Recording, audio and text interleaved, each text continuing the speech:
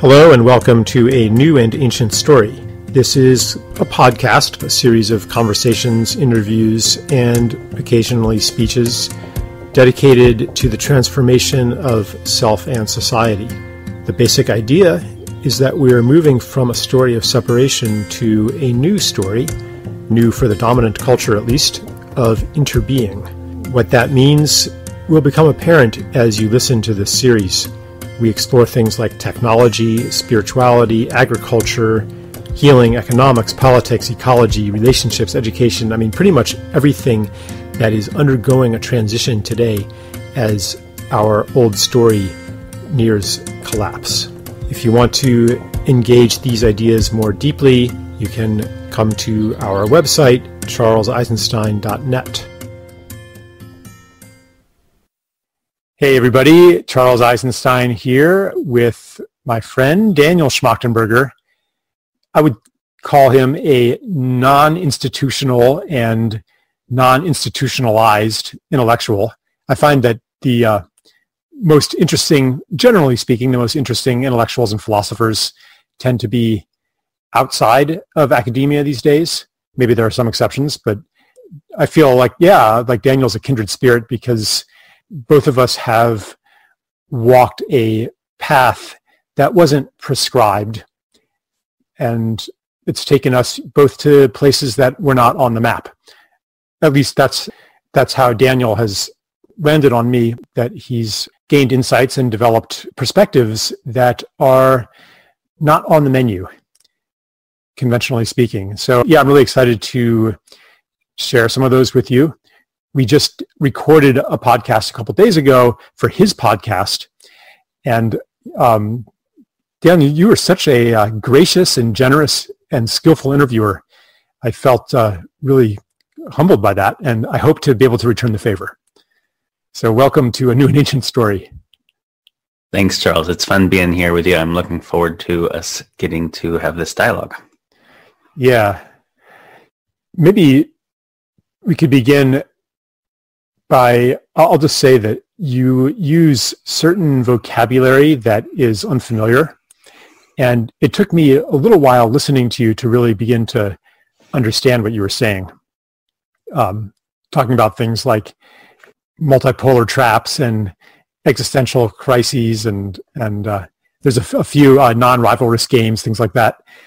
And I think that those will come up. And, and when they do come up, maybe we'll pause for explanation of those things. Mm-hmm. We had a plan to start about talking about the paperclip maximizer problem. Mm-hmm. And this, like, it's like this AI thing, but it has huge implications for the direction of civilization, even down to a deep philosophical level. So is it cool if we just start with that? Do you want to introduce that? Yeah. Yeah. Yeah. yeah. So, um, some of the listeners have probably heard of the paperclip maximizer thought experiment. For those who haven't, to construct it briefly, I believe the term was first introduced, or at least introduced to the public by a researcher named Nick Bostrom in a book called Superintelligence, where he was exploring the risks of artificial intelligence. And there are many different AI risk scenarios.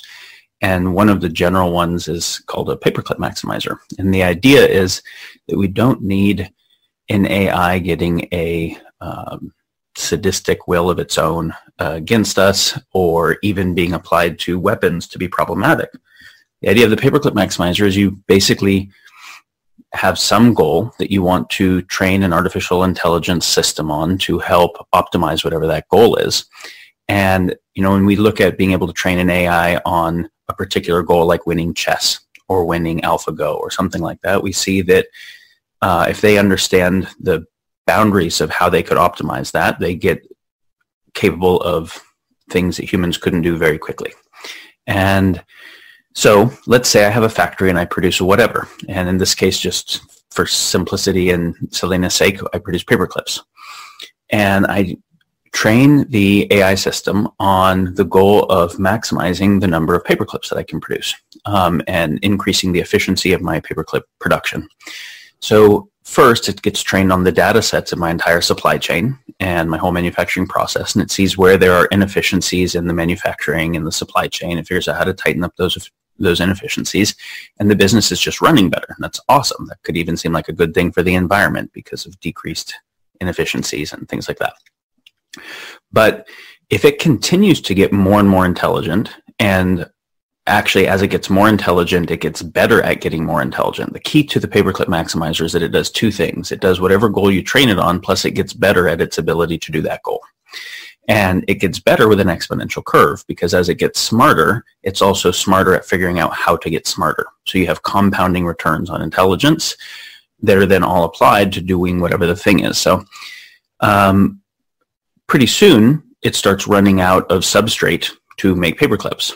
And so it starts uh, looking at how to make paper clips from additional substrate. So it starts realizing it can use recycled metals, not just whatever the original metal was, and trash and whatever. And of course, then it eventually runs out of that. And, and eventually it needs to use the stuff that humans need uh, to live for substrate. And then eventually needs to use the humans. And then it turns the whole universe into paper clips. And the idea is that if you had something that is way more intelligent than us, in terms of its just strategic capacity to achieve a specified objective. It's a very narrow kind of intelligence we're talking about right now in terms of we're not saying that it's good at defining what is meaningful, but if an outcome has been defined and it has access to the, the data set of things that are connected to that outcome, it can do optimization better than we can. And it, as we try to learn how to deal with it, it's going to learn how to deal with us faster than we're going to learn how to deal with it, right? So the chess systems competing against human systems are getting better at beating us faster than we're getting better at learning what they do to adapt. And so we're getting more and more obsolete as chess players on a very fast curve. Well, this is what we're already applying AI to do. Like before we start to think about true general AI and we are already across many industries applying artificial intelligence to optimize fairly narrow metrics. And, you know, a classic example is Facebook or social media of any kind, Google, whatever, but we'll take Facebook as a simple example, uh, trying to optimize the goal of time spent on site. How much time does a person spend on site? Because the more time on site means the more advertising revenue. And at the end of the day, it's a for-profit company that makes money and returns to shareholders by advertising revenue that's proportional to time on site. But it's there's an AI running its optimization of what makes my newsfeed as sticky as possible and what makes the notifications as engaging as possible to come back. So it finds out that there are certain things, and this is the same as the YouTube suggested views feed, um, finds out that there are certain things that I'm particularly uh, more likely to pay attention to, and it optimizes for those. Now, it's not conscious. It doesn't care. This is just pure analytics, but it's effective. And so we'll see that my newsfeed is totally different than your newsfeed. And it's based on what is the most sticky, addictive stuff for me possible.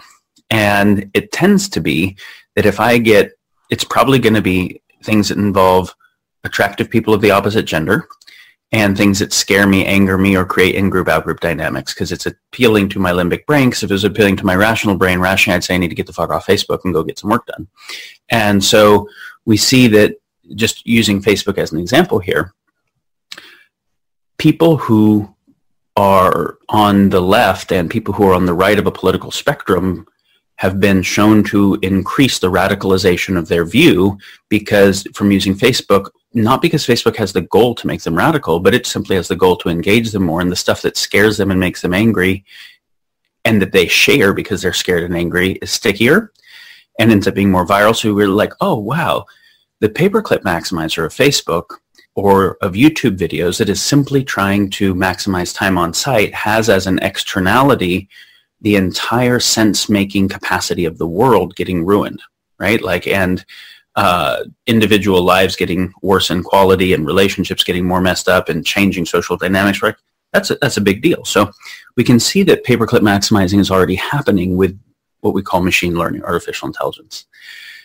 And the thing that Charles and I have discussed uh, previously, and I think we'll get into now, is that the idea of a paperclip maximizer in artificial intelligence. It's a thought experiment for the risks of artificial intelligence, but it's also then a thought experiment for how our civilization as a whole works independent of artificial intelligence, which is if you have a some kind of system of intelligence that optimizes a particular goal, maybe at the expense of other goals, right? Because it has a very particular goal. and it gets better at doing that, there are problems associated with that. If it's part of a complex system where those other things that it might harm to optimize something matter for the continuance of life and thriving. And so we've talked about what we call civilization as a whole in modern terms, and we can think of capitalism to start. But it's not just capitalism. It's capitalism as the center of kind of in-group, out-group competing against each other in a rivalrous way game dynamics of which capitalism is kind of at the center, but nationalism and uh, all forms of power structures are. There's, it's a kind of collective intelligence, not an artificial intelligence, but a collective intelligence that predisposes what all the humans do, and it gets smarter and better at doing what it does. And it happens to be reductive, meaning uh, moving things in the direction of particular simple metrics and so uh, I'll kind of take a break and see, Charles, where you want to go mm-hmm. before building out the example. But the idea is that civilization as a whole right now has paperclip maximizing elements as a collective intelligence system that is the core of the issue that we have to address. Yeah. It brings up for me Lewis Mumford and his characterization of the mega machine, he called it, yeah. which basically he was saying, what was the first machine? In the sense of of a industrial entity. And he said it was it was the first builder civilizations where human beings were the components of this machine doing standardized jobs controlled by the uh, hierarch, by the pharaoh or whoever it was. And this allowed whoever was in control of this machine to perform godlike feats which was why the pharaoh or whoever was given a semi-divine status. And he says the basic model of the machine already existed 5,000 years ago yeah. in the standardization of roles. And then what happened is eventually the human parts were replaced by mechanical parts so that one person now controlling a machine can perform godlike feats like moving at rapid rates of speed, flying through the air, communicating um, instantaneously over vast distances and so forth. We're all gods now because we are at the helm of of a machine. And so like so the, the machine of civilization could also be thought of as a computer or as an artificial intelligence because it definitely has an intelligence beyond that of any human being. It can solve problems that no one person could solve. And so then, then it's what you're saying is, okay, so what are the imperatives of of this machine. And gosh it sure looks like maximizing gdp or maximizing human dominion or uh, producing more and more you know more stuff or whatever motives and incentives are built into the machine. It's doing a better and better job at accomplishing those. And yeah where is this going and how can we stop the world from turning into paperclips or money. Right. So let's let's explore the model applied to civilization in some detail. So if you think about a colony of ants or termites, you see that the colony as a whole has certain kinds of intelligence that the individual ants don't have. Right? None of the ants on their own know how to make a uh, ant mound of that type or underground labyrinths of that type, and yet the coordinated behavior of all of them has the capacity to do that. So we would call this a collective intelligence. And it, rather than being centralized, that there is one consciousness of the uh, ant colony controlling everything, it's a decentralized, emergent collective intelligence, the way we generally think of it. And we can see many examples of that. So the thing that we're describing here today is that the the thing that we call civilization is a collective intelligence that is misfit for its ongoing continuation with itself. Mm-hmm. Um, misfit for its ongoing continuation with life. It has kind of mathematically self-terminating processes built in. And we're getting close enough to the self-termination points that those can start to become eminent. So we'll, we'll look at those. So for instance, let's just take capitalism to begin with and we'll expand it because we're not going to say that communism wasn't this. It was too. Capitalism was just the better version, which is why it got selected for. Um, so if we look at what capitalism is as a system of decentralized incentive, it, the incentive is controlling or influencing patterns of human behavior. If people can make money and survive doing a particular thing and they make less money and are less able to survive doing other things, then there is a incentive to do certain things. And if they can move beyond just surviving to actually getting ahead, there's more incentive to do the things that keep increasing their capacity because of all the things that money makes possible. And eventually those who are near the top of the money hierarchy want to continue to double down on whatever it is that increases the capacity to be there. So then you look at what the nature of incentive, fiscal incentive looks like, and we say, okay, well, I can't really get dollars for leaving whales alive in the ocean. It's not, I can't convert their li- life onto my balance sheet, but if I kill them, I can get dollars for that by selling the whale meat. And I can't get many dollars by leaving trees alive in an ecosystem, but as two by fours, I can sell them. And so in general, there's a movement towards extraction and commodification. Okay. So we see the nature of that movement. We see that maybe the largest block of global economics writ large, if we were to take all the things that make it up, is the military industrial complex. So we see that war is super profitable and I can make a lot of money by doing that. We, we look at all the areas we see. So money ends up being a decentralized incentive system that orients everyone towards the things that can make more of it. And as we look at the evolution of kind of the economic system itself, we say, just like the paperclip maximizer gets better and better at being able to do its thing, we say, okay, well, originally humans were just sharing resources in tribal settings, and then there was exchange between tribes, and then we can look at uh, early currencies, and then eventually fiat currencies and then fractional reserve banking and then high-speed trading on digital fractional reserve banking. That's very much like the curve of a paperclip maximizer that is getting better and better at being able to get all of the humans to do its bidding. And here's kind of the key way of thinking about it. It doesn't have its own ability to be an actuator to do stuff in the world outside of getting humans to do the stuff.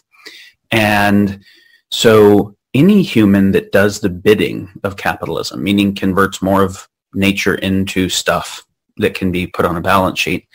Um, and we're oversimplifying here, but to get the idea, we'll expand it in a moment.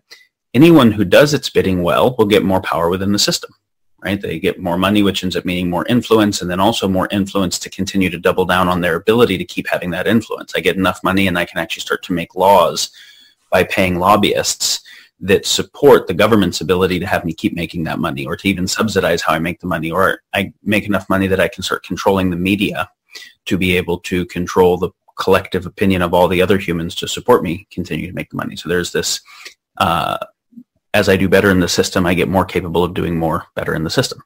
So right, exactly, it's exactly parallel to the AI learning how to learn better and better. Right. And the humans so the humans that basically do the bidding of the system get more power in it. The people who are at the top of the power hierarchy are the people who are uh, most perfectly aligned with the will of that system. And then you look at kind of what the will of that system, not from a anthropomorphic, but just from a behavioral disposition point of view is. And then the people who oppose the system, if they're actually effective at opposing the system, are a risk to those who are in power, and they will inherently have less power, so they get taken out of some form. And if you look at like famous people who got assassinated throughout history, they were pretty much all against the paperclip maximizer, and they mostly got taken out by people who were stewards of the paperclip maximizer at the time, the power system.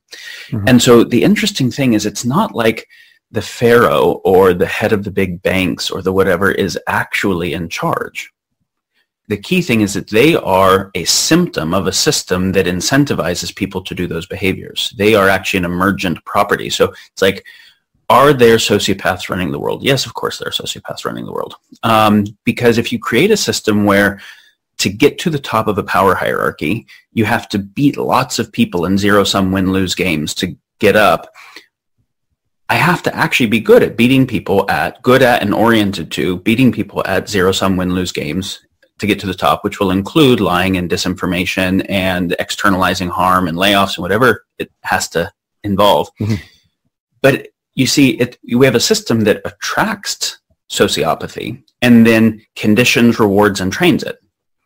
And whereas like living in a tribe, you would not do well as a sociopath, right? You'd do very badly. And so you don't have an evolutionary environment. We have a system where the very top of the power hierarchy is an evolutionary niche for those who are most abusive with power in those particular kinds of ways. But effectively abusive meaning that they, they figure out how to game the system to support them continuing to do it.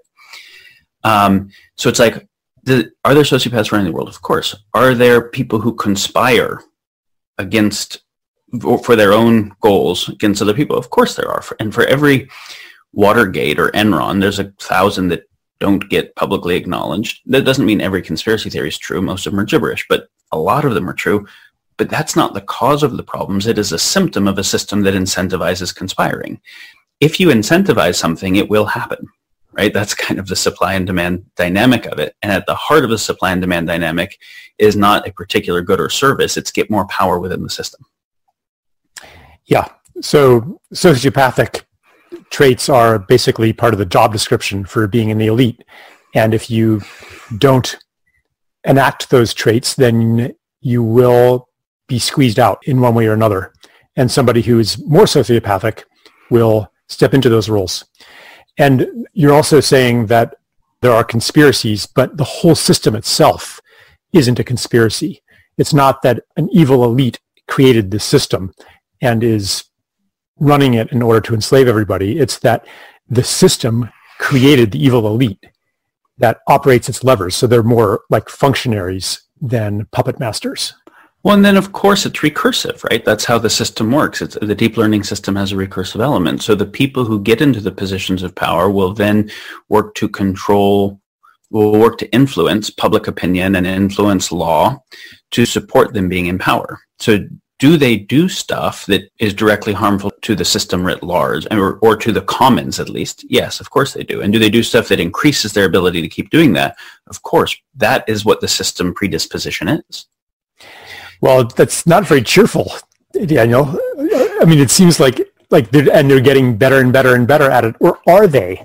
Like some of these things, they get exponentially better for a while, but then they, you know, level off, and they reach an inherent limit. Like it looks like our civilization is doing that in a way, which is reflected in the slowdown in the rate of economic growth, um, the decreasing effectiveness of our technologies to solve basic problems. Like it doesn't look so exponential anymore. What, what do you think about that? Yeah. So if we think about the development of uh, the things we call civilizations historically, there will be some pioneering effort to go explore some new territory, niche of some kind. Most of those don't work and they're expensive. And then the ones that do work become the basis of uh, a new development. And then you get a lot of development on whatever that thing is. Hey, now we're mining. Like we figured that thing out. Or now we've got this spot that's good. Or now we're working the plow here or whatever it is. And then you will start to get to a place where you get, um, you know, early people having captured much of the power system associated with those things, the pioneering landscape having not having open opportunities for new people to pioneer from scratch. And so then everybody else has to work for the people who already did the early pioneering in some kind of way. And so the first people who were doing whatever the thing was had a direct relationship with pioneering innovation with actually the natural world itself or with um, yeah reality itself. And then and so they were able to get ahead through an innovative process. At a certain point there's no more space to actually innovate or mm-hmm. come up with new stuff. So on your own so what you end up doing is working for the existing system and now all those people are in a domestication system. And there is an upper limit on what they can do and the only way they can get ahead is to climb that power hierarchy. So they go to work for a company rather than the very few people who found the company. And of course most of the companies fail. When the founders do it they fail. The few that make it and there's now a huge cash stream coming in then everybody goes to work there. The people who work there are not going to have as much power as the people who founded it. As time goes on it gets bigger even less so. And at a certain point, climbing that power hierarchy, whether it's a government or a corporation or a whatever, becomes my only way to get ahead more than doing fundamental innovation. And so I have to get better and better at figuring out how to win at power hierarchy kinds of stuff. And so if you look at the court of Versailles and Louis XIV and the courtier type dynamics, there was a world where everyone, like nobody was trying to make fundamentally new stuff or new innovation. There was no real pioneering space. Everyone was just trying to get more of the power somebody already had, uh, you know, bestowed right. on them. And this is what we call politics. And the things that give you power within an institution are not necessarily the same things that make the institution more effective, make the government work better, make the corporation make more money even. Like so yeah. very very often uh, actually it's usually the opposite of that, right? So we, we can't do things that are so damaging to it that I damage my ability to get ahead, but I also don't need to optimize the organization. I have to optimize my own bonus structure within the organization. Um, I have to also optimize my ability to get away with the fact that optimizing my bonus structure is not optimizing the company.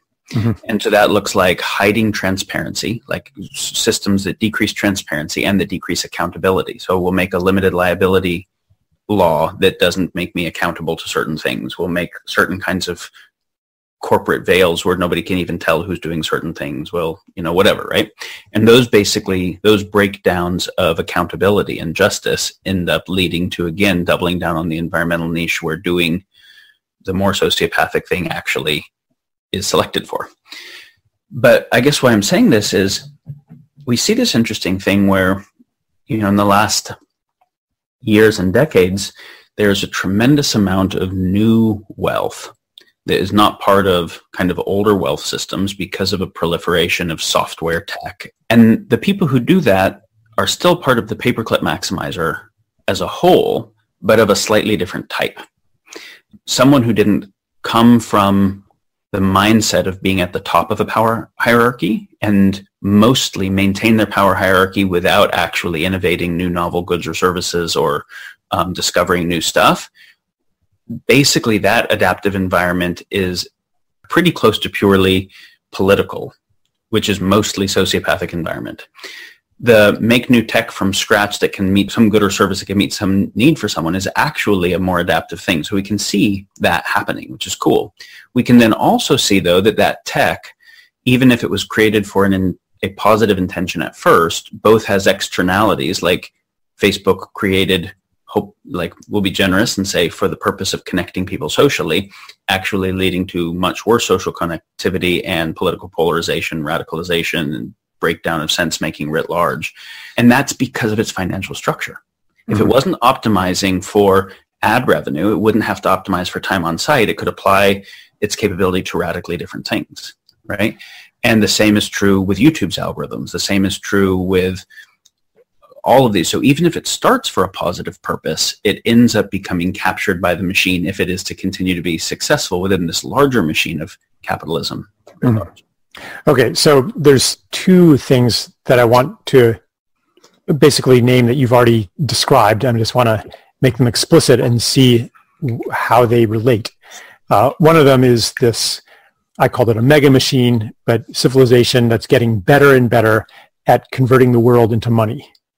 Mm-hmm. On the other hand, we have inefficiencies and dysfunctions within the machine that are incentivizing behavior that doesn't necessarily make the machine get better and better at converting the world to money because what serves someone's personal interest can actually make the whether it's a corporation or the mega machine as a whole less efficient so does this mean that there is a light at the end of the tunnel like a way out from a bleak future of the entire world gets turned into paper clips like, could we build an alternative or could we somehow take advantage of the built-in inefficiencies of organizations as we know them that are financially motivated to supplant this civilization with something better? Um, is there a solution? Yes, I propose so, and we'll get to it. Um, it's not from exploiting the inefficiencies because what makes a corporation inefficient or a country inefficient actually still serves the paperclip maximizer writ large because it just moves the center of power from that corporation from you know Microsoft to Google, mm-hmm. uh, from US to China or you know British Empire to US or whatever it is. And so the paperclip maximizer keeps doing quite well as the local parts rise and then collapse, rise and then collapse, but continue to whenever one part is uh, starting to collapse, all the adaptive things it learned just move to a new center. Uh-huh. Um, there's a couple more ideas we have to construct okay. to get into the alternative because we we haven't specified the key of why this system works the way it does yet. Okay. Um, I'll be patient.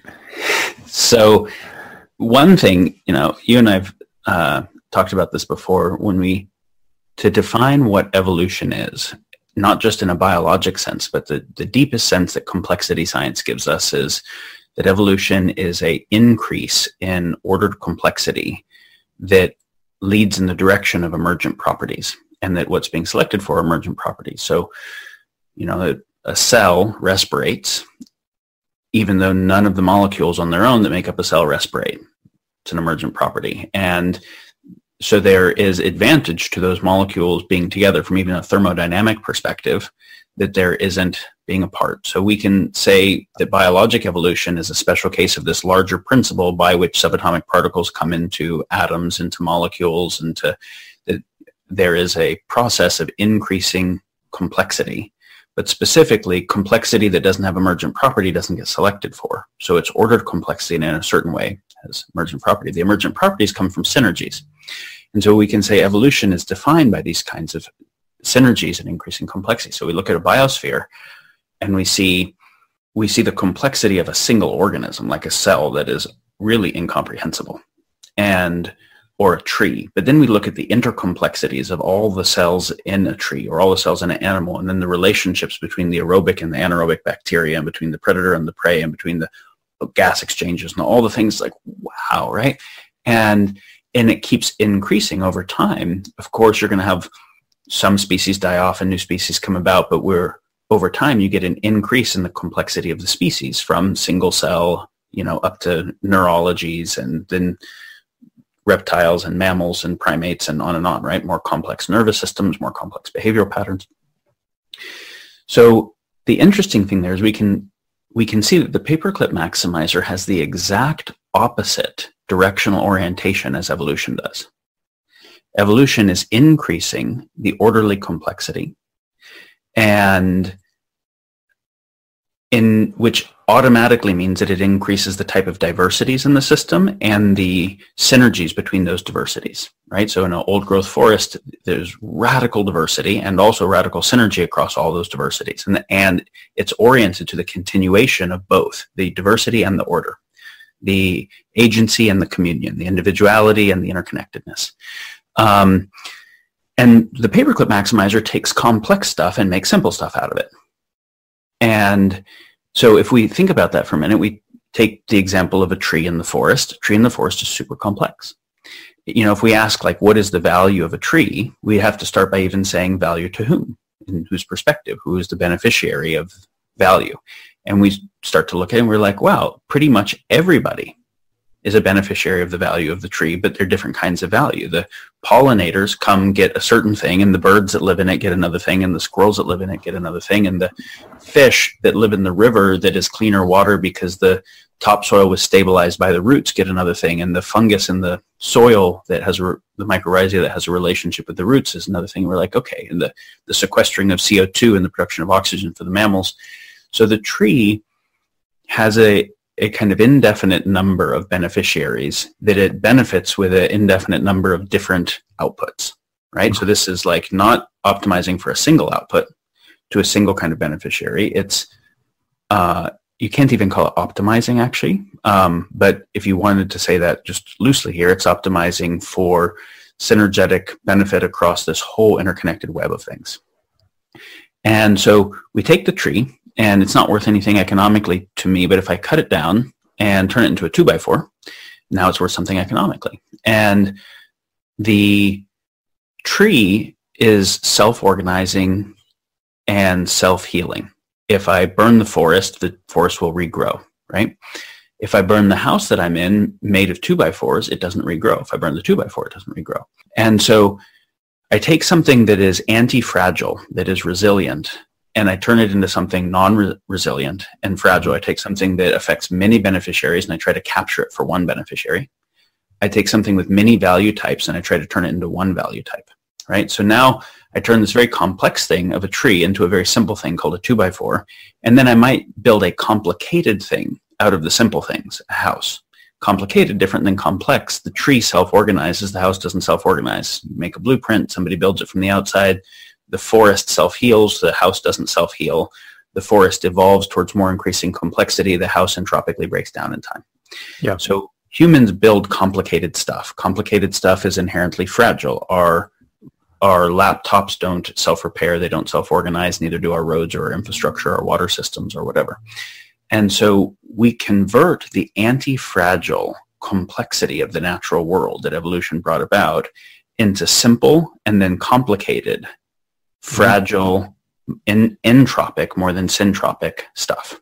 Which require top-down management because they don't organically maintain themselves. Right. I mean, and maybe another example of it would be the imposition of monocultures, cultural, agricultural, various kinds of monocultures on the world, which yep. is reduction of uniqueness and complexity into something simple, the ultimate of which would be the monoculture called money, which is pure quantity. Right. So say I take the yep. tree, I turn it into two by fours, and now I can accumulate a bunch of these two by fours. So I can build something out of it, but I can also trade them. But they're a little bit cumbersome to trade, actually. I can't, the liquidity is not high enough that I can just trade a bunch of them in a hurry if I want something else. So I actually don't even want to store the 2x4s. I want to sell them right away and get money because even though the money has no actual value, it's purely representative value, meaning I can't build a house out of it or eat it or really anything. Um, because of its liquidity for other forms of value, it seems to maximize my choice, my freedom, my optionality. So I don't want trees, I want two by fours. And then I don't want two by fours, I want dollars. And then because I can't spend a dollar on Amazon, I actually don't want dollars, I want bits, which is the digital dollar in an account that has maximum liquidity in its potential. And so we actually see each of those are a step towards more simplicity. And so now we have a world that wants to convert the natural world and human creativity and human labor and all of it into bits of a particular type that are abstractable, fungible, tradable, optimizable. That is exactly the opposite direction of evolution. It is decreasing orderly complexity. It is converting the anti-fragile natural world into an increasingly fragile built world and then we're trying to run exponentially more flow through an increasingly fragile system. So when we look at oil pipeline spills, we look at the fragility of the system that's trying to run more and more stuff through it. When we look at wars and economic collapse and environmental collapse, we're looking at breakdowns of fragile systems. But if we keep trying to convert the anti-fragility of the natural world into increasingly fragile world that we're trying to run exponentially more flux through, that self-terminates and mm-hmm. process self-terminates. But there, the fiscal incentive is in that direction. And again, it doesn't take everyone. Like you could have a lot of people who are like, man, something matters more than money. I don't want to do that. But anyone does that thing. And of course, they might have a fiduciary responsibility to shareholders. They might, whatever it is. Anyone does the thing that continues in that direction and they gain so much more money, which equals power, which means adaptive advantage, that everyone else has to justify continuing to do that or they lose in the economic competition by default. Now that's the concept you mentioned earlier called the multipolar trap.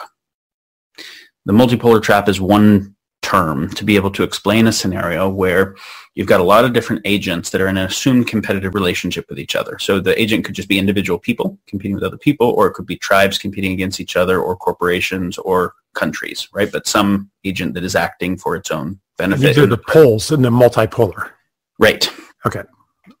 and so if any of the agents does something that is bad for the whole, bad for the commons over the long term, but that provides a lot of near-term advantage to them, there's a big incentive for them to do that.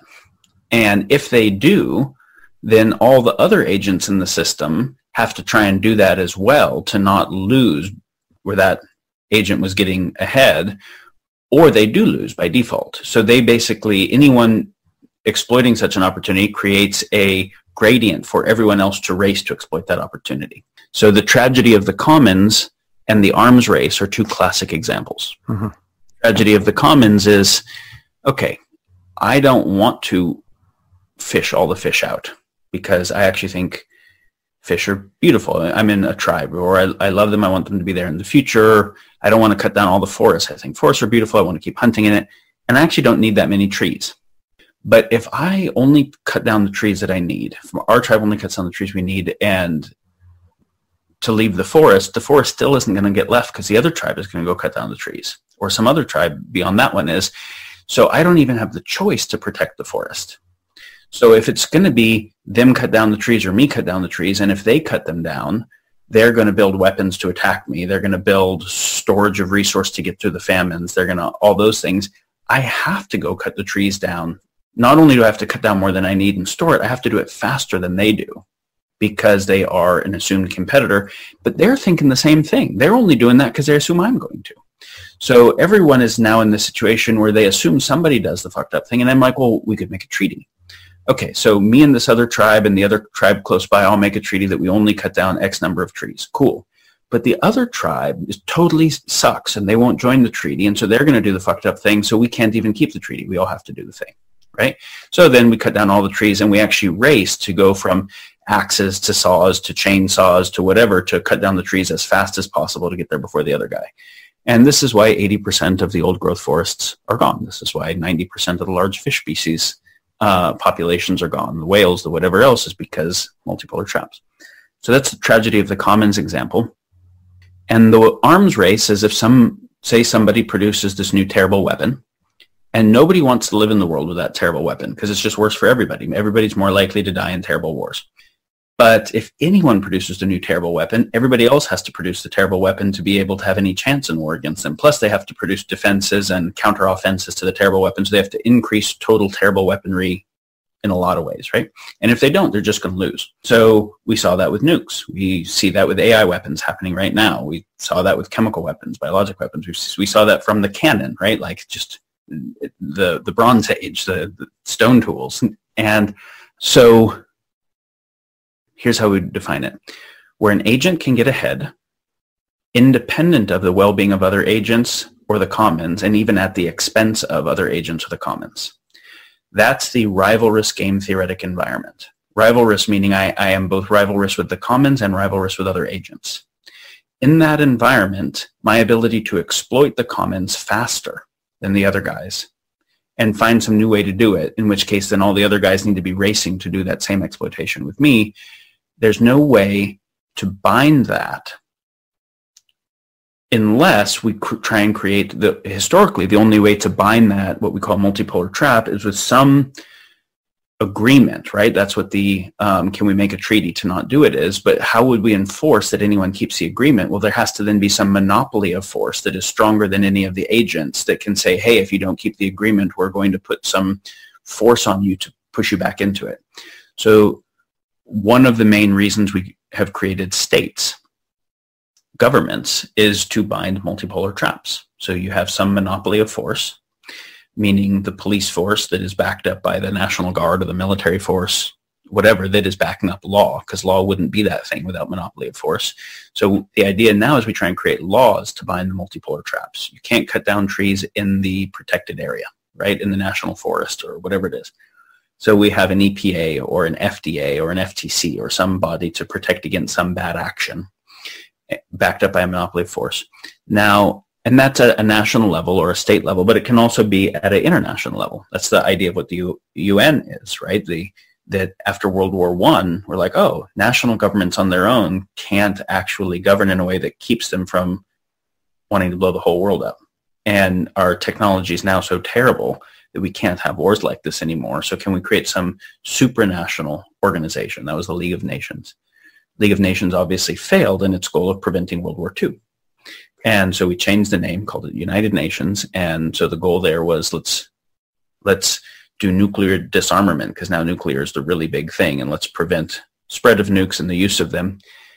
And we haven't had World War III formally kinetically yet, but we went from two countries having nukes to 19 or however many having nukes and nukes not even being the concerning thing. Now in the proliferation of exponential tech mediated weapons, everybody's got them, not even state actors. So we're like, okay, well, why is it that the top down force, the UN, has a monopoly of force? Why can't it keep the nations in check? Well, because the nations have too much power for the UN to have a monopoly of force over them. So say you're a country with nukes and we're trying to do nuclear deproliferation. We say, okay, you're going to, you're going to give up your last nuke now. You're like, no, I'm not. That's fucking stupid. I give up my last nuke and somebody's going to come invade me who has nukes. And so you'll lie and say this is your last nuke while stockpiling some other ones, right? And then not agree to the inspections or whatever it is. Um, and because you assume that whoever else is giving up their last nuke is also lying and stockpiling some. And so this is the multipolar trap thing, right?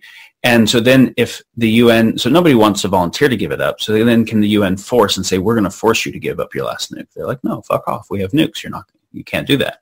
So multipolar traps from bottom up dynamics, market style dynamics can't be bound by the market um, or countries competing by each other can't be bound by the country. They can't be bound at their own level.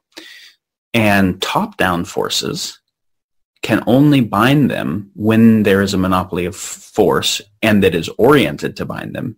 And at this point, because of exponential tech, there can never be a monopoly of force in the same way there was previously um, because the bottom-up forces are too powerful to be overrid in that way. And so we say, oh, all right, so now we have this place where we have multipolar traps of all kinds. Right now it's build AI as fast as you can for all purposes that there's incentive for, including weapons, right? Or things like that. And if anyone makes a law that tries to protect against something like an environmental destruction, whoever has the economic interest to do that environmental destruction has the economic incentive to pay lots of lobbyists to change the law and to hide that under some other thing that doesn't seem to make any sense that nobody pays attention to and to pay for campaign budgets and to, you know, all those types of things. So we end up seeing that law falls to economic incentive when it's, even though it's supposed to bind economic incentive, the problems of it, because economics is actually deeper in the stack of power than law and government is. Yeah. Quite a few things in there. You're basically establishing uh, one pillar after another after another of um, an argument that I think you're going to continue developing. I'll just add like maybe a supporting comment. I, I read a little bit about the actual tragedy of the commons. The textbook example was villagers grazing their sheep and it's to the advantage of any one villager to graze them as much as possible so that his herd increases. But if everybody does that, then the pasture gets overgrazed and everybody's sheep die but no, it's to nobody's interest to rein themselves in. Mm-hmm. Historically, however, according to what I read, uh, that didn't happen because the community had explicit and implicit agreements, social pressure. If you were grazing too many sheep, then people would make life difficult for you and you would feel shame. And so people actually got along quite well and didn't destroy their commons until market economics and the idea of the separate individual came in and introduced that logic and weakened the informal ways that people regulated the use of the commons. And when that happened, then the imposition of force by a state became necessary. So it was kind of a substitute for... Right. Yeah. Okay, so this is a super important example when we say that there's a top-down force that binds the bottom-up one that has monopoly of force, monopoly of force in the way we think about it today is um, a actual police force or military force that is asymmetric to the physical rebellion capacity of a subset of the population. Now, there was something that you could think of as a kind of monopoly of influence before state type dynamics that weren't just mediated by those type of police forces and it was what you're describing right? In a community if someone starts to behave in a poor way being ostracized from the community right? Like being shamed or being excluded or people not wanting to interact with you you're you can no longer do it. You can't actually get ahead or survive if you can't interact with people. And so uh, that was actually able to work at a fairly small number of total people where there was transparency to the dynamics, right? So there's only three sheep herders that can be letting that grazing happen. And anyone who's doing the thing, everybody can see. So remember how we said when there is a breakdown of transparency or a breakdown of accountability, you create the environmental niche for the bad actor. So as we get to larger sizes, everybody can't see what everybody's doing and it becomes easier and easier to obscure this, which is then where you have to try and say, okay, well, can we make government bodies that can do investigation and that kind of thing? So if you think about like, if I, if I'm in a big corporation, nobody, no one's really watching what I'm doing um, in the same way that they would be in a tribe. And particularly the only other people who will be watching that closely might have somewhat, I can coordinate it that they might have somewhat aligned interests. But it's not like the actual end users that we're making products for that are on the other side of the world have any idea what I'm doing.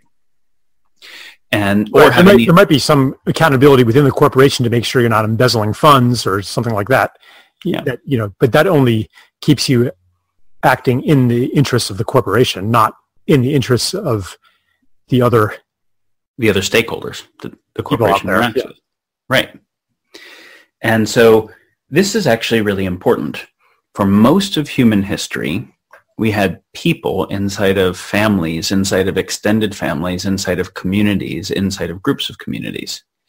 And there was um, there was organization that happened at each of those levels. And it's kind of like cells inside of a tissue, inside of organs, inside of organ systems, inside of a body. It's not just like 50 trillion cells inside of your body with no substructured organization. It wouldn't work at all.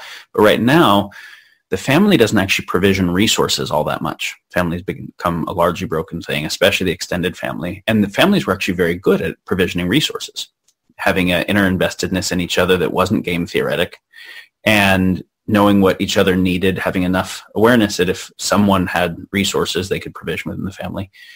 And communities, tribes were also pretty good at those types of issues because you could actually see what was going on and they could be interinvested in each other. And now you mostly have the individual interacting with the market and the state, right? The, the big giant everything that is impersonal and the individual as a voter consumer, producer. And that system is necess- is definitely broken.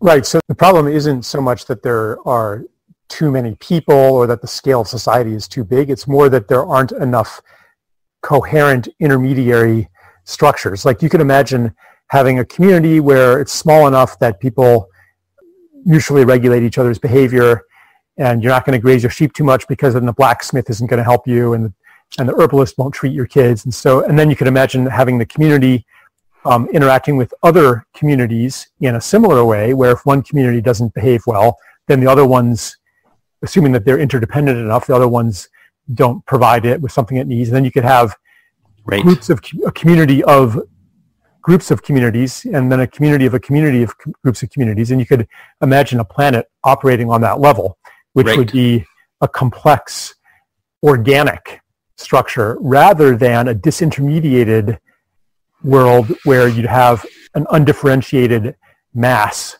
of people and a hierarchical control structure in the model of industry, which is all about the standardization of parts, the standardization of inputs and outputs and so forth. So maybe uh, is where you're going with this, like some kind of successor to the industrial model of organizing society? Um, so, so let's look at complex systems that evolved and have uh, orientation towards increasing evolution and anti-fragility and like that. So there's a couple key principles that we see that are important here. Let's say we look at the 50 trillion, give or take, cells in a body which cells kind of run the show is a silly question. There are no few cells that are elected representatives or dictators or whatever. Which cells have really asymmetric power over all the other cells? There are none. None. And that was a delusion of, of, of, of physiologists. I mean, they people thought that, well, the brain must be in charge, but it's totally not like yeah. that. Yeah. Right. The cells in a petri dish will continue to do their own thing from liver cells or kidney cells or fat cells, or they are self-regulating in a bottom-up way. There are top-down effects where the neuroendocrine system is gathering big picture messages and then communicating big picture information back for coordination. But the coordination is not just happening at a bottom-up cellular and top-down whole system level. There's coordination happening at the level of a tissue. And there's coordination happening at the level of an organ and at an organ system. So there is something that is neither bottom-up nor top-down. And where the, the bottom-up influences cascade all the way up to this emergent top thing. The top-down influences come in turn affect the bottom-up ones, but it's happening at all these layers, and there's a kind of coherence phenomena. And so this is neither market nor government. This is something much, much more interesting and much more complex. But you see that at the level of a cell, there's a symmetry of power where all the cells, they're all doing their thing, but none of them have asymmetric power over any of the other cells. And you can think about, as far as messaging goes, cells are capable of sharing messages to other cells that they have a particular relationship with, mostly adjacent cells, right? We can see some effects where it'll be an endocrine effect, but it's still going to be things of a particular receptor type that it evolved to have that relationship with. So why that is important, let's say a cell becomes a cancer cell. This happens all the time to some degree just because of mutation, oxidation, whatever that occurs the job of the body is that to prevent the kind of carcinogenesis that makes cancer cells to make it much less common. But when it does happen, to actually convert the cancer cells back to healthy cells. And if it can't, then it has to kill them so they don't spread, uh, kill the whole body, because then they're acting in a way where their own interest is pit against the interest of everything else, unlike healthy cells. The healthy cells you know, liver cells are not competing with kidney cells to accumulate more of the scarce resource.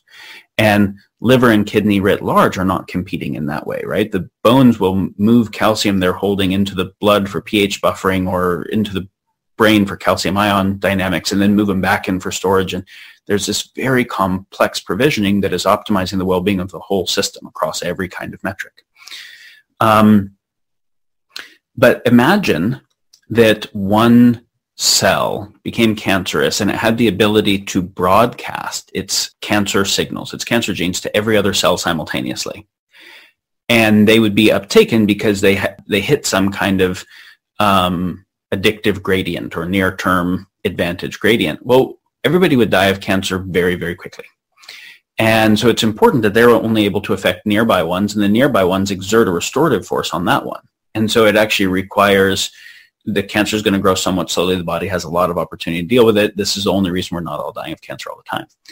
And so today, though, when you look at what broadcast media is, or you look at just asymmetric power of any kind, well, what is the asymmetric power of a, a Putin or a Trump in terms of kinetic warfare compared to you or me, right? It's, it's trillions of times. What is the asymmetric fiscal power of a Gates or a Bezos compared to us? What is the asymmetric messaging capacity of a top celebrity, right, in comparison.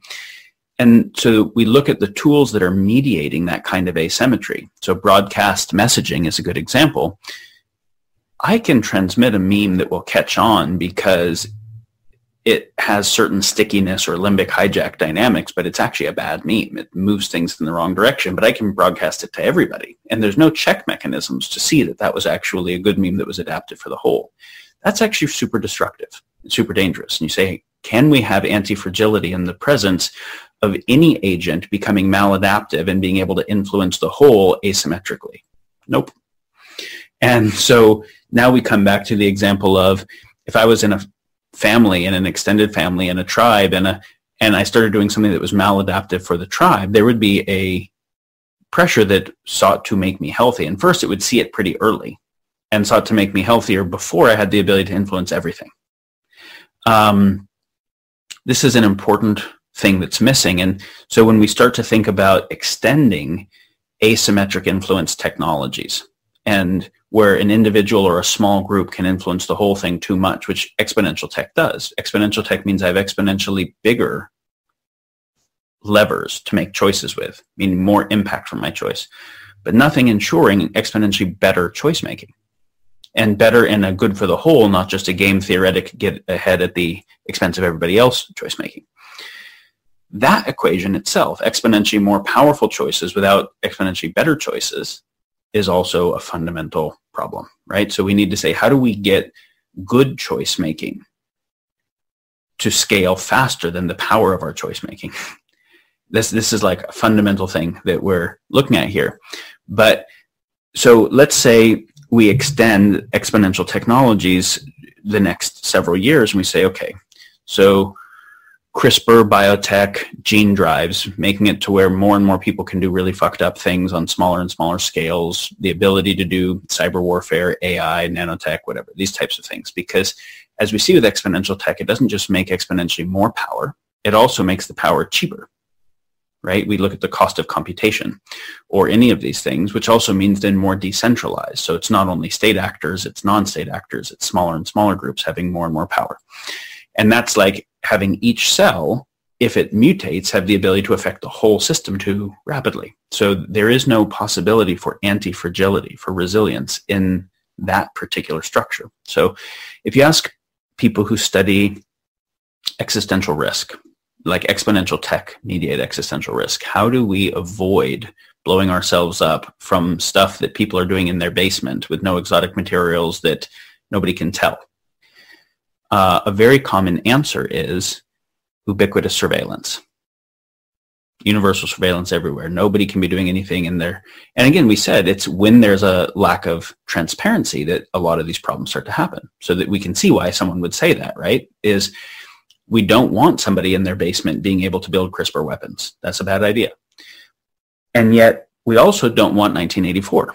And if we have a surveillance state where the state is there is a structure that guarantees that the state is going to move towards corruption because that's how top-down power hierarchies work. And you have a power hierarchy of one to many power structure. The state has surveillance on everybody. Everybody doesn't have an input back to that. And it's oriented to be captured and corrupted all right, that's a, so that's a failed system. But not having that seems like a failed system in the presence of exponential text. It's like, what? What the, what the fuck do we do? So, you know, you can hmm. see that even with the technology, the killing technology of in guns as opposed to knives, you just can't kill as many people with a knife if you get if you go wacky, right? So when we look at mass shootings, whenever we hear that somebody took an AR-15 and went and shot up a bunch of people, and the news reporters go and do the investigation. The neighbors all say, yeah, he was real quiet. He kept to himself. We never heard from him, etc. And What that means is that person might have been progressing as a cancer cell, right? They might have been progressing in their own psychopathology, depression and upset for years with no one actually engaging with them to be able to see that. They could go to the store, buy food, and no one noticed if they were upset or not or healthy or not in the way that they would in a tribal dynamic. If you have people who can isolate themselves, progress in their psychopathology, not be checked, and they have AR-15s, you're going to have those kind of shootings. If they have access to progress in those types of isolated dynamics and they have worse weapons, it gets worse. So what do you do? Well, you don't have to have surve surveillance by the top-down state. Remember, there's a top-down force that happens not at the level of the whole body to a cell, but even a tissue to a cell. And so this is like if that person was part of a family and part of a tribe where they actually needed each other, they couldn't just use this abstraction called money to get their needs met without having to interact with humans in any meaningful way.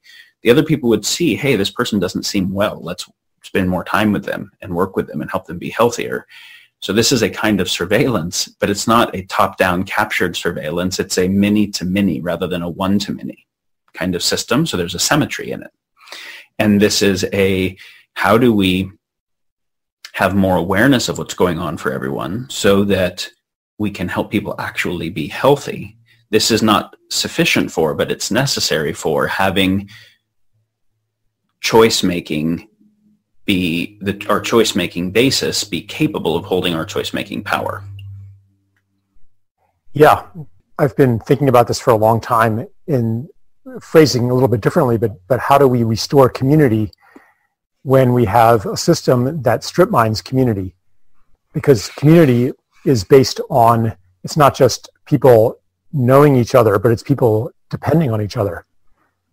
So the economy as we know it replaces interdependency with dependency on distant abstract institutions and anonymous service providers mediated by a very complicated division of labor.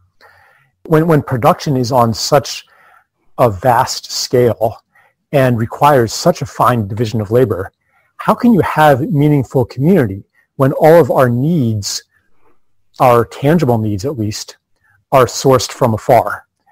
And cannot. Yeah. So have to fix so, that. right. So so one one avenue is to relocalize and replace some of the functions that we've handed over to a global mega machine with locally met needs. And there's already a movement in this direction. For example, the food movement.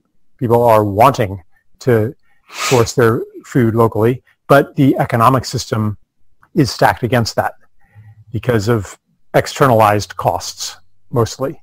So lettuce shipped from California to the East Coast is cheaper than lettuce grown here uh, because of the subsidization, the perverse subsidies embodied in roads, for example, um, and, and, the external environmental costs, et cetera, et cetera, et cetera. So from what you said, the people who wield power aren't going to change those conditions because they are part of the paperclip maximizer. I mean, they are, their job is to maintain those conditions from Correct. which they personally benefit, but also the paperclip maximizer benefits in its production of paperclips. So, and it seems that the system has only strengthened its grip over the course of my lifetime and I mean forever.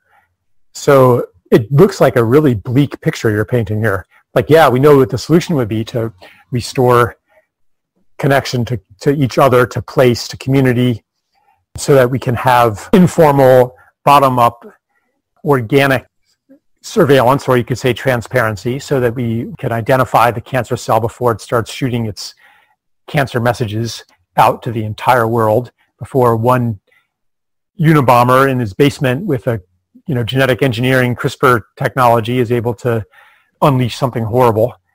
Uh, we know what we have right now. We have a rivalrous system that compels everybody in it toward to enact behavior that is going to destroy everything.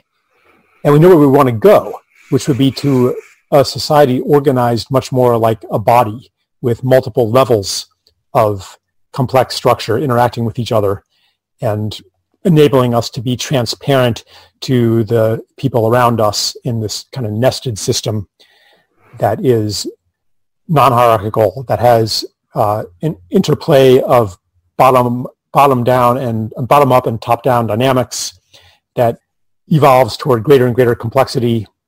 We know where we are. We know where we're going. Do you have like at least like a little uh, a little through line from here to there? Like how do we take a step into this transition? Yeah. The heart of the problem is the word that you mentioned a couple times is power. And what we're talking about is a system where the primary concept is not power. Power meaning power over or power against in a rivalrous way, in a game theoretic way, where the core idea is resiliency. We could think of, we could use different terms, resiliency, strength, whatever, where the goal is not to maximize my power over the environment or other agents. It's to maximize my sovereignty and my ability, which includes my ability to not be controlled by other agents, right? To be anti-fragile to power without actually engaging in the game of power. It's a fundamentally different and kind of critical distinction because the game of power is actually the paperclip maximizer and capitalism is simply a part of it. And this is the key thing for us to construct so we can show what the alternative looks like. A lot of people are going to maybe be thinking, um, Daniel, it seems like you missed biology class and uh, don't understand how Darwinian evolution works and that uh, these type of rivalrous behaviors are nature itself and we evolved to have these kind of rivalrous dynamics and you're asking for something that is outside of human nature or outside of nature itself. This is an important point to address because I can't offer what an alternative is if people think that it goes against what is actually possible.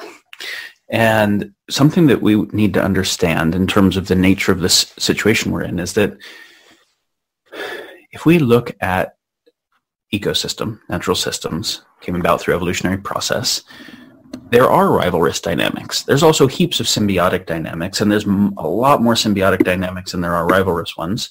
Um, but there are rivalrous ones, and they're worth pointing out.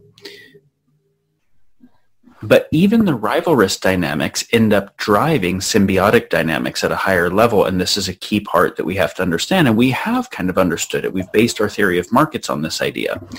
So, you know, the key example is we look at competition in terms of uh, various animals of the same species competing for reproductive opportunity, and obviously predator-prey relationships being directly rivalrous. There's plenty of things that look zero-sum. And so we look at a fox chasing a rabbit.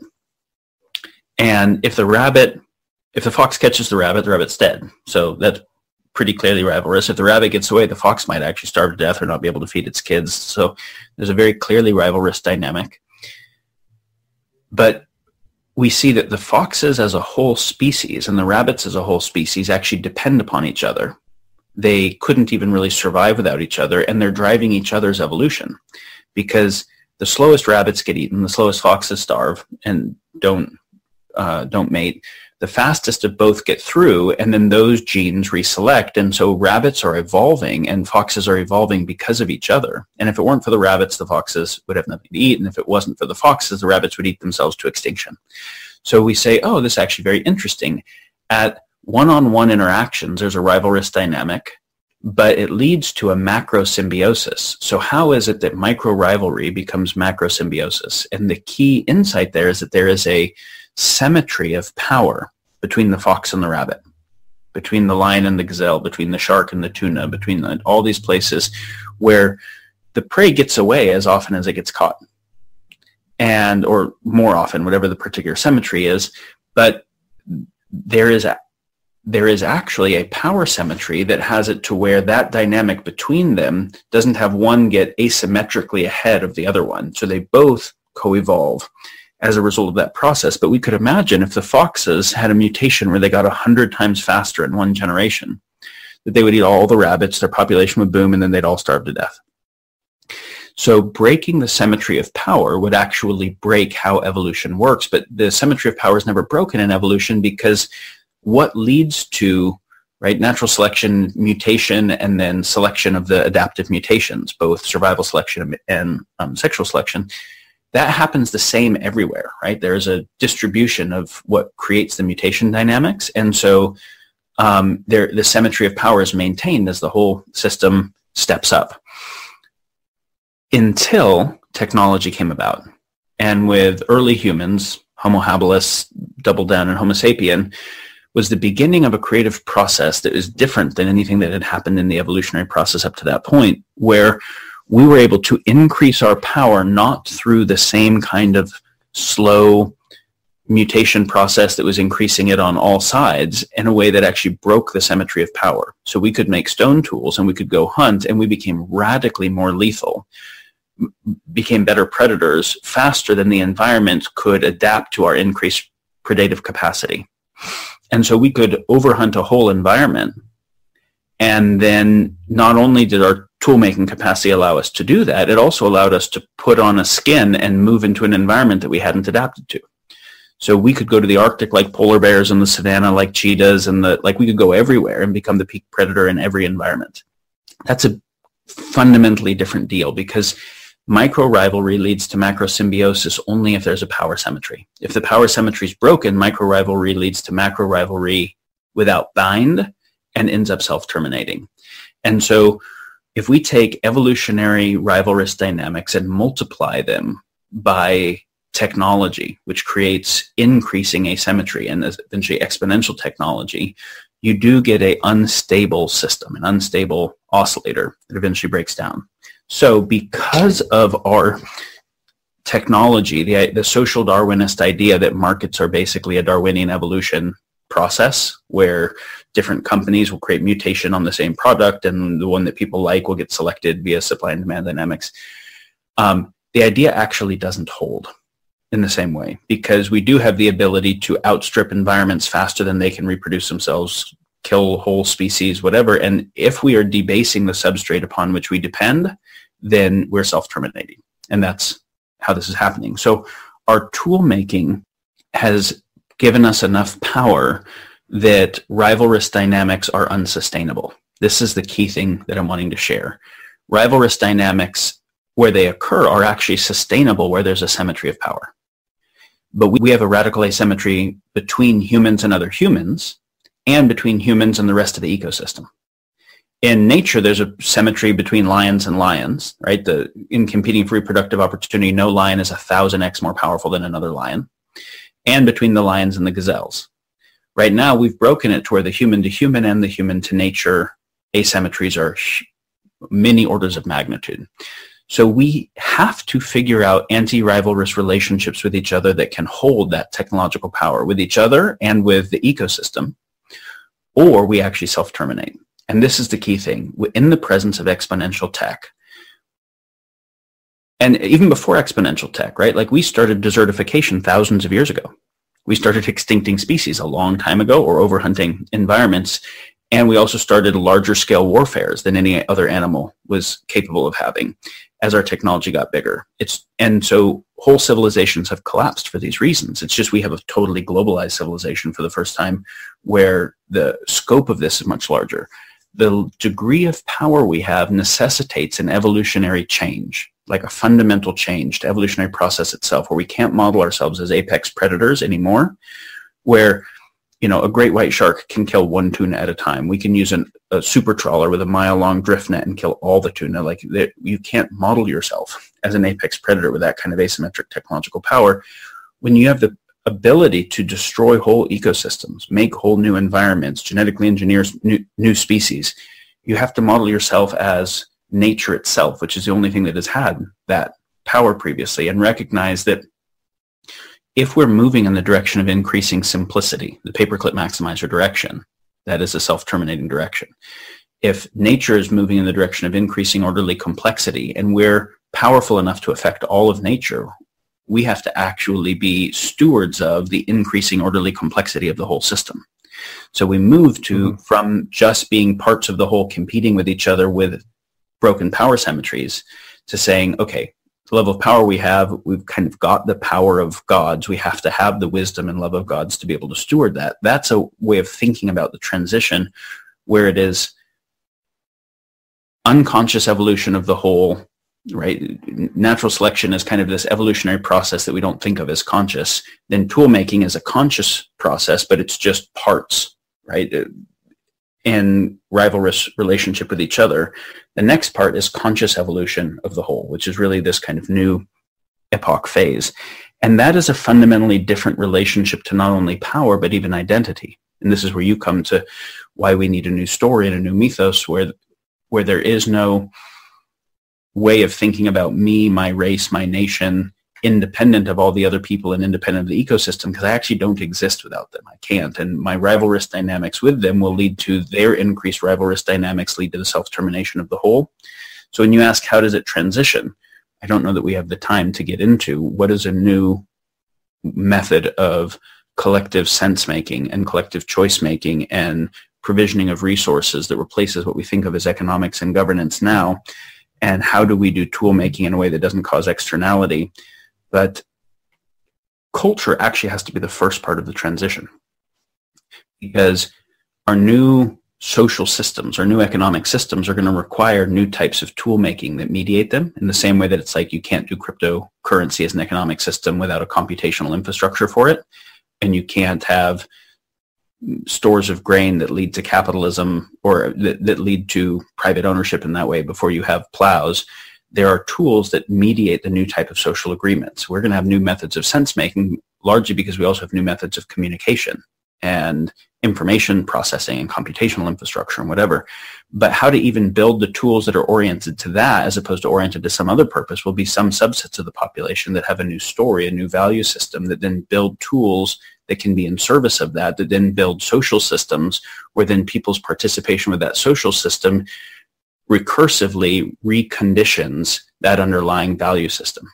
And it's a movement from separate competitive self to interconnected symbiotic self from us as modeling ourselves as competing for apex predator status to stewards of the whole system where rather than humans compete against humans using better technology to exploit nature, it's nature gives rise to humans, humans gives rise to technology. So to be sustainable, technology has to in turn be in service to the resilience of nature. And this is, I mean, this is why I'm happy to be here talking with you. And I think this is the core of your work and why you have started with narrative and myth is there have to be people that are oriented to a model of what healthy civilization could even mean in the presence of the kinds of things we face to be working towards building things that make such a possibility come about where then the increased adaptiveness of that new system becomes the strange attractor. Yeah, what you're saying is is so so closely congruent to the things I've been saying for years um, with totally different language.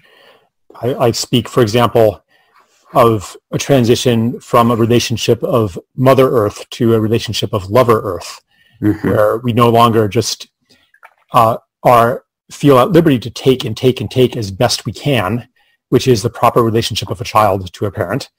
Um, mm-hmm. Eh, but but where we understand that we are here to give and take in um, in harmonious measure, and perhaps to as with a lover to co-create something together. So that really does translate into abandoning the behavior of an apex predator and taking responsibility for the effects of our actions on the other. It also means uh, a reconception of who we are in relationship to the other, in relationship to nature. It's a change that goes all the way to the bottom. Yeah, all the way to what we believe we are, what we believe reality is, and the relationship between us and reality. Because right. what we understand to be real is going to inform what we understand to be meaningful. That is the basis for then what we are making choices in service to. Right. Um, yeah, I see it as really an initiation mm-hmm. into a different collective state of being that also then induces a different personal state of being because one hallmark of an initiation is that you're faced with circumstances that, that none of your existing tools are sufficient to handle. Right. And you're you're then forced or at least strongly invited to uh, metamorphosize, you know, to grow into to become something else. I mean, I'm not going to say that it's entirely new. I think that at each stage of human evolution, like with the advent of stone tools, with the advent of fire, with the advent of domestication and so on, like each of these qualitative step ups in the our ability to outcompete the rest of nature, there was at each point the possibility of coming into a responsible equilibrium that necessitated taking some responsibility and exercising some kind of restraint so there are hunter-gatherer cultures who, and maybe some still, still to this day, who really understood themselves as, among other things, as stewards of the land and caretakers of the land. Among some of the Native Americans, for example, the idea of the wild was a repulsive concept. Like, no, it's not the wild. We're, we're here, we're here to interact. It wasn't that they left no trace. It was that they interacted in a positive way and left a positive trace. And there were those at each stage of our technological development that didn't take responsibility and did tremendous damage. So just to say that it's not an entirely a new thing that we're seeking here. There are precedents for it that operated on um, earlier levels of technological development. You know, if you can look at, at technology as kind of a step up, step up function where you had a sudden leap and then maybe a gradual increase and then another sudden leap and so forth. You know, there, so there were Stone Age cultures that lived in equilibrium. There were agrarian cultures that lived in equilibrium and maintained ecological symbiosis for thousands of years. And I'm not sure if we could say the same for industrial societies, let alone digital societies, but just saying that there are precedents and cultural memories that we might be able to draw on as we forge a story that locates us in a different relationship to, to nature. Yeah, I think I think it's interesting because we're definitely not going backwards, right? We're moving to a society that is both higher touch and higher nature as well as higher tech, but a fundamentally different way of thinking about what technology is and, and what it's for. What it's for. Yeah. Um, and so any orientation to say it was good before, let's go back, we'll just lose. But there's a lot of principles that we've had in various previous phases that are actually a critical part of it. And so, you know, one one thing to what you said is that of course there was a distribution of cultures that were, say, more harmonious with their environment versus more exploitive, uh, less warring versus more warring. And in general, the way the curve goes is that the more warring cultures killed the less warring cultures at a certain point, and the ones that exploited the environments have been ended up taking over the ones that didn't at a certain point. And so we can see that it's like the only cultures that were kind of that were more peaceful that were left for a while was if they didn't have natural resource, they weren't a threat, they were in some faraway place like Tibet. Until Tibet actually became a threat because, you know, things like modern media where its message could damage the message of China to the rest of the world and then it had to be taken out. And we could see that with patriarchal versus matriarchal cultures and, you know, mm-hmm. Greece falling to Rome and all those types of things. And yet, so what we're, what we're looking at is in those phases, doing the more power dominant thing won, not doing it lost by default. And so the power dominant thing both worked and was compulsory. Right. Now the power dominant thing has got to a high enough level of power that increasing the level of power on all sides is actually what is breaking the underlying substrate itself. And so it no longer can keep winning. The thing that has won so far, the winning in win-lose itself, is now the underlying threat to survival. And so when you say we need new tools, we actually need new meta tools. We need a meta process by which we aren't trying to create a situation that selects for us against others because that againstness itself will actually break the ability to even select for us. Mm-hmm. And so of course, there have been lots of epochs with the agricultural revolution and industrial revolution, and there were major changes. But I would say the epoch that we are on the brink of, that we're talking about now, is like maybe the last time that something of this magnitude happened was Homo habilis and toolmaking. Because, you know, we said like, okay, you've got evolution. It's a very old process, depending upon how we want to define it, billions of years on this earth or as old as the universe. And that's a mathematical process that just kept happening for a very long time until toolmaking created a conscious central serial rather than unconscious decentral parallel creative process. And then there have been a lot of epochal shifts in how we do the toolmaking thing. But we're really looking at a new third creative process that is neither evolution nor toolmaking. It's something that navigates the relationship between the both of them. It's a conscious right. creation of wholes rather than an unconscious creation of wholes or a conscious creation of parts. So I would say that that's kind of a meta epoch that we have not had a transition like that in the history of our species. That's very that's very yeah, interesting. I agree with that. I think that um, what we face is qualitatively different than any of the technological revolutions before.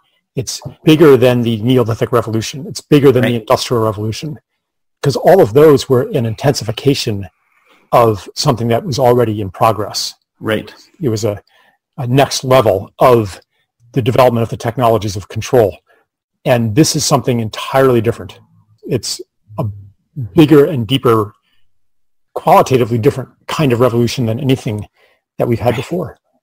But every religion spoke to it, or in the most part, most religions spoke to something like this with the, what is happening at the end of the Mayan calendar or the mm-hmm. end of Kali Yuga and the emergence of Satyuga in the Hindu system or the, you know, the end of the end of times and purgatory and then heaven or hell. If we take these kind of metaphorically, we say, you know, let, let's just play with the idea that the rapture story in Christianity was just kind of like prescient people looking and saying, hey, as we went from stone tools to metal tools, and as we keep developing better and better tools, we're destroying environments faster than we were. There are deserts where there didn't used to be, and the wars are getting bigger. And they can just imagine that that doesn't get to go on forever. At a certain point, we become too powerful to keep being that dumb. And so there's the story that says this phase that we're in comes to an end. We fell out of the garden in terms of how to live in harmony with things. This phase comes to an end. There's a purgatory where there's some really hard reckoning with the choices we've made. And we either go a, a very different direction where we kind of are reintroduced to the garden, but at a higher order, or it, or it's pretty bleak. Yeah. I think that's actually a literally true story, and we're just in purgatory now. We're actually in that eminent mm-hmm. place mm-hmm. where the choices we've been making have to be not not only do we have to shift them, we actually have to make amends. We have to do reparations on those choices, yeah. which is how do we actually clean the oceans, not just stop polluting them and fix the topsoil and those types of things. And so I think it is like, you know, people can get despairing or overwhelmed. They could also be like, this is the most interesting possible time to get to contribute to a deeper level shift of how for the future of all life than anyone has ever had the opportunity to contribute to and to just be like even if i don't know how to do it i'm going to commit to do it before i know how and start increasing my understanding and sense making so i can more and more deeply engage right we may not know the answers but at least maybe we know the question you know, we know the the direction we want to go, and I think you just named it. It is as reparations, you know, regeneration, healing. Um, what I mean, this is the question I, I ask. You know, knowing that no species on Earth is given superfluous or unnecessary gifts that don't contribute to the well-being and evolution of the whole. Um, the question is, well, what are our gifts for? And maybe for the next 500 years, they're for healing the damage that's been done. After that, they're probably for something else that is unimaginable.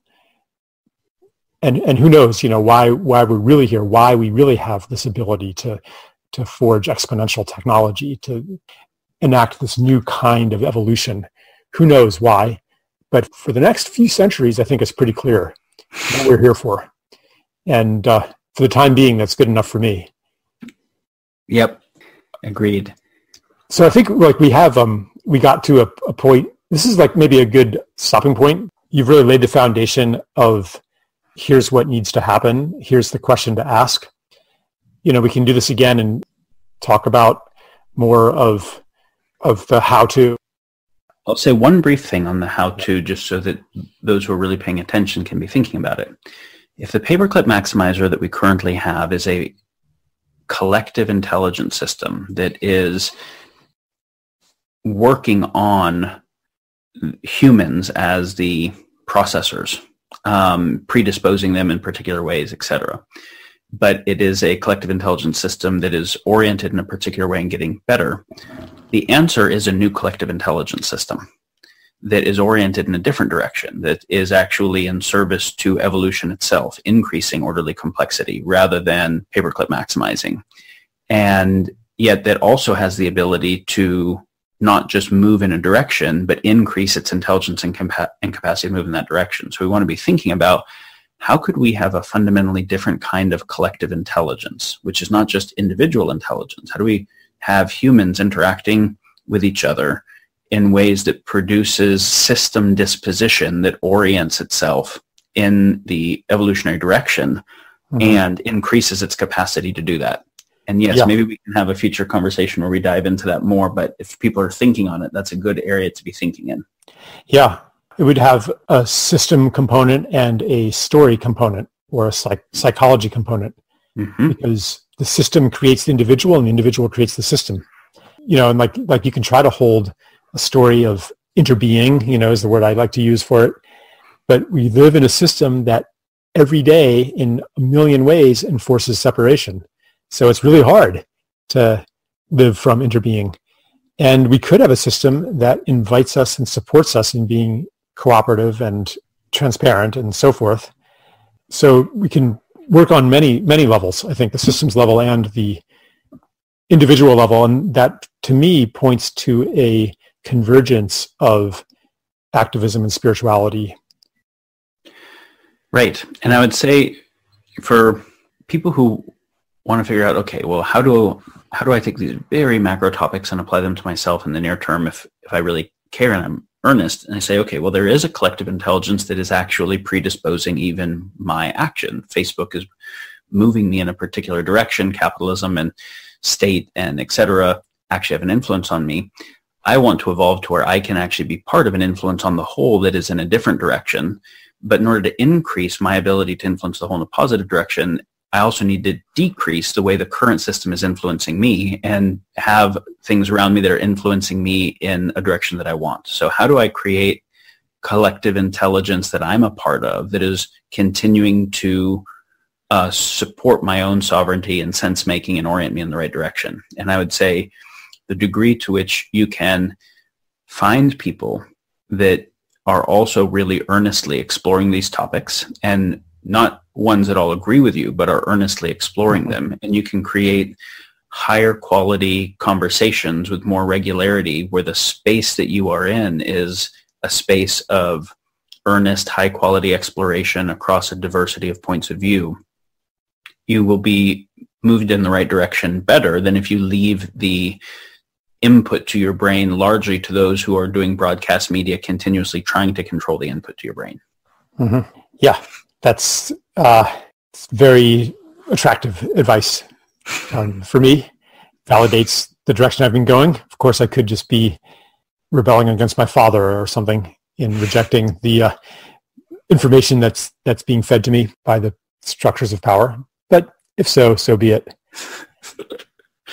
hey, I want to say um, briefly, people who are interested in this dialogue, you know, um, you heard Charles mention Lewis Mumford, and I'm sure he has a list on the site of recommended reading things that we've talked about today.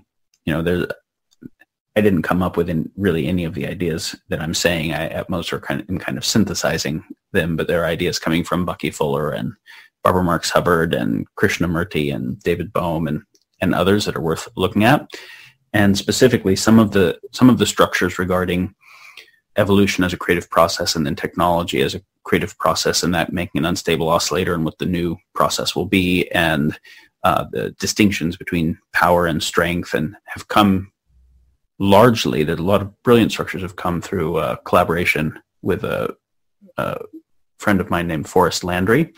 And he goes into those structures in a lot more formal detail in some of his writing. So I'd encourage anyone who's interested to look that up.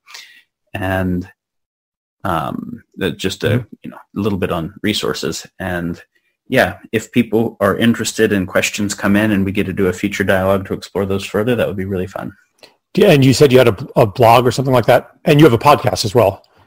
Yeah civilizationemerging.com is a blog that i have and there's a podcast called collective insights and there's a couple different show hosts. There's a really brilliant doctor who does a lot on the future of medicine named Dr. Heather Sandison, And then I do some on these kind of social topics, which will include one posting soon where Charles was cool. there sharing about climate change and polarization and the really fun conversation. Great. Okay. Yeah. We'll put links to those in our uh, blurb for this show.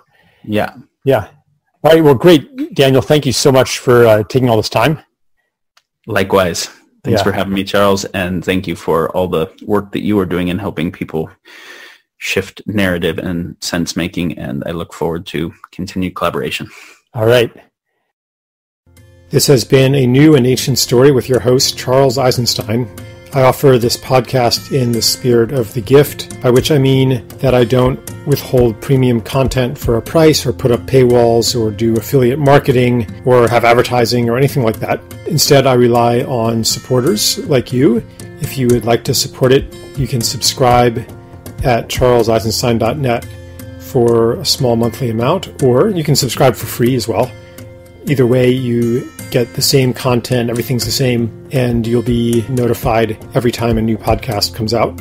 Also, on the site, you can find archived episodes along with everything else that I produce essays, books, videos, online courses. Thank you very much for listening, and I'll be with you again next time.